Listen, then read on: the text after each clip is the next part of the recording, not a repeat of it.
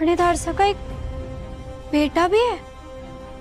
सगाई वाले दिन तो हम सबको यही लगा कि विशेष भाई सा का है। खाटू श्याम जी, ये तो बहुत बड़ी बात है। पता नहीं दृष्टि जीजी को इस बारे में पता भी है या नहीं? नहीं। मैं दृष्टि जीजी के साथ इतना बड़ा धोखा नहीं होने दे सकती।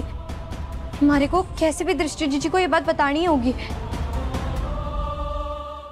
जीजी, उठा ले फ़ोन। दृष्टि जीजी, फ़ोन भी नहीं उठा रही है। मैं उनको कैसे बताऊँ? ये थानेदार सा का पापा होने वाला सच।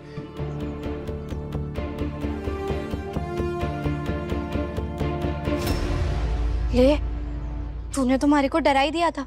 तू तो सिर्फ़ डरी है। यहाँ मेरी जान निकली जा रही है। काम हुआ? थानेदार साहब को मेरा सर्टिफिकेट दे दिया? हो गया काम। मिल गया हेल्पलाइन वाले थानेदार साहब को थारा सर्टिफिकेट मैंने थारे को बोला था ना, थारी ये पक्की वाली सहेली ना खुद हिम्मत हारेगी और ना थारे को हारने देगी।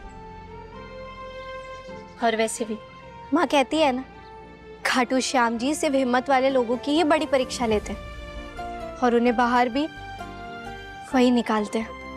और थानेदार साहब ने प्रॉमिस किया है, थारा ब्याह नहीं होगा।